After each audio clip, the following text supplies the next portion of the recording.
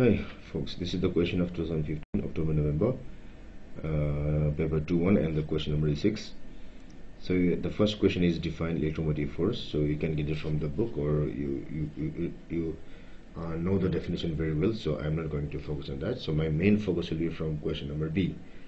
It says that a battery of EMF 6.0 volt and uh, internal resistance 0.50 ohm. So that means uh, E is equal to 6.0 volt and this uh, small r is equal to 0.50 ohm. Is connected in series with two resistors x and y x and y. So we have to calculate the current in the circuit and then the uh, terminal potential difference PD across the battery. So the current across the circuit should be equal to the EMF E by R total of the circuit circuit and that's equal to E divided by R total is equal to 1 is X 1 is Y and 1 is this small r. So it's equal to is equal to 6.0 this x is equal to 4.0 plus 12 plus 0.50 so the whole value will be equal to uh, 6 divided divided 4 plus 12 plus 0.5 so this is actually it is a 0.363636 so we just write here 0.36 into SF now now uh, the next question is we need to find the terminal potential difference.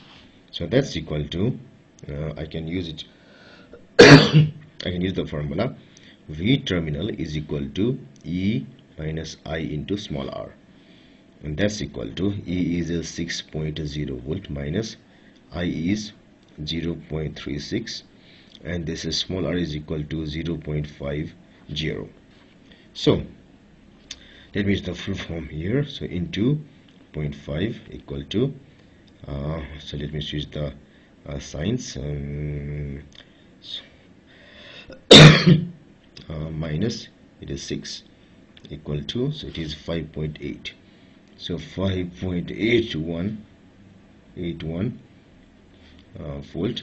So I just write here 5.8 volt. Now now the next question is uh, a resistant Z is now added in parallel to Y. So previously there was Y only. Now we have uh, Z also and uh, this Y is made of the wire of length L and diameter D. So that means uh, resistance Y is equal to rho L by pi D square by 4 and that becomes equal to 4 rho L by pi D square. Whereas Z is made of metal is same.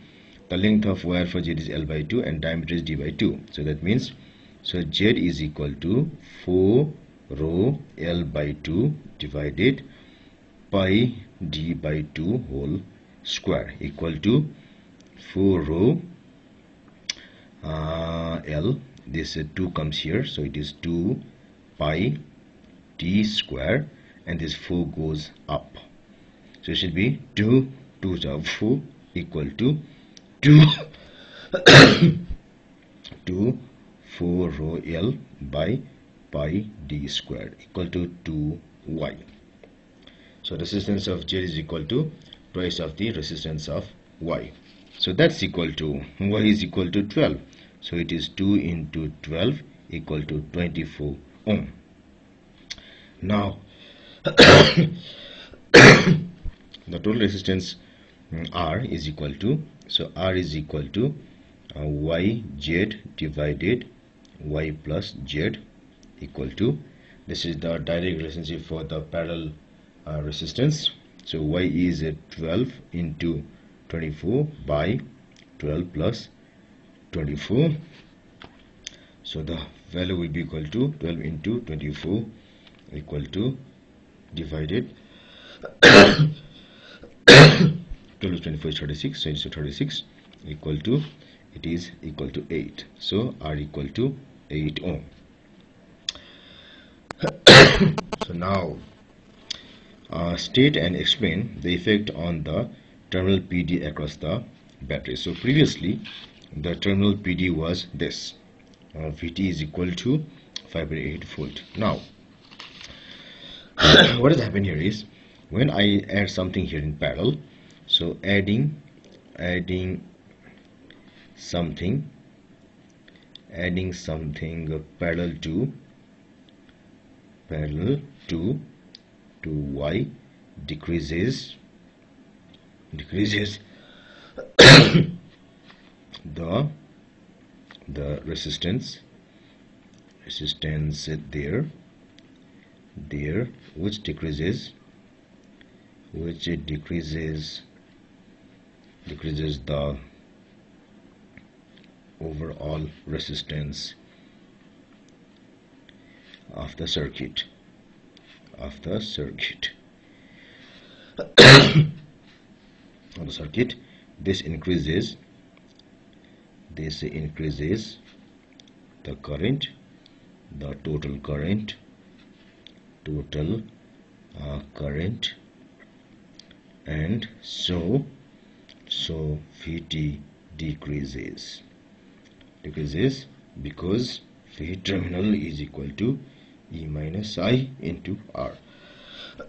So total PD should decrease because we have the expression Vt equal to E minus I into R. R is constant and this is also constant for the circuit